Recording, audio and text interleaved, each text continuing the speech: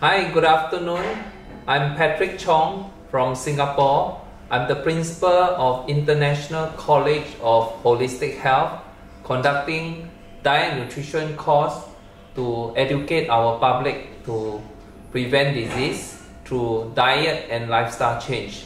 And I'm very happy to be back in uh, Serbia, Belgrade, in this Swiss Medica for my follow-up treatment on stem cell for my eye condition and for my anti-aging. And I'm very happy with the services here and all the staff and the procedure and the process is very, very pro professional.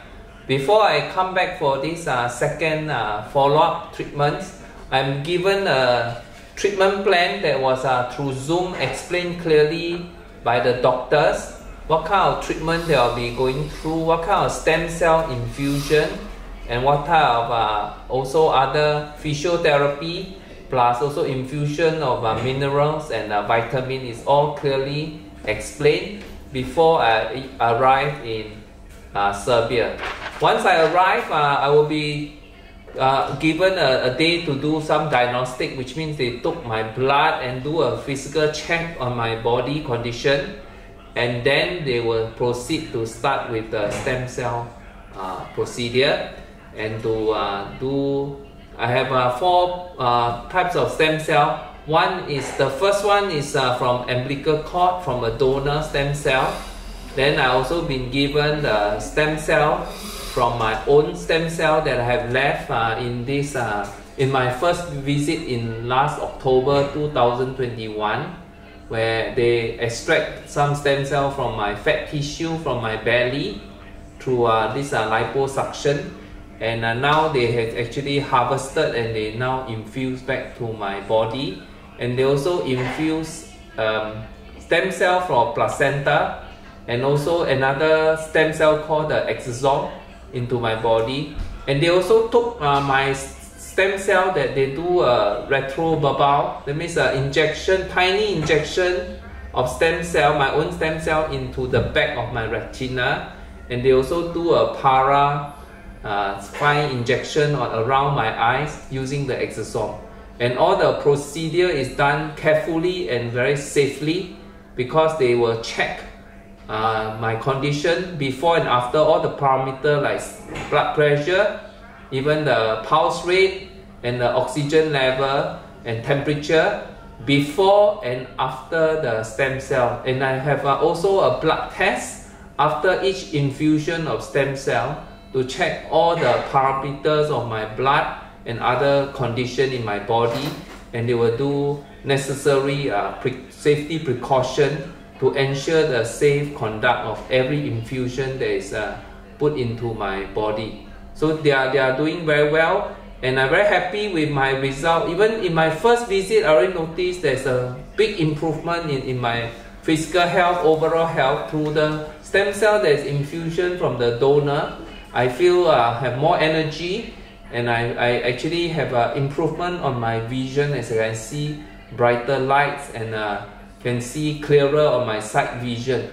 So this second uh, stem cell, at the end of the second stem cell infusion, they also arrange uh, doctors from outside to check my uh, abdomen, which means uh, my whole uh, digestive system from liver, kidney, and the stomach, and uh, gallbladder, and all this, and it's, it's in, in very perfect condition now. In all the parameters looks good and every uh, organs are functioning well. And they also arranged for me to see the eye specialist again because the last visit I had seen the same eye specialist uh, in uh, Serbia. He's one of the best eye specialists in this region.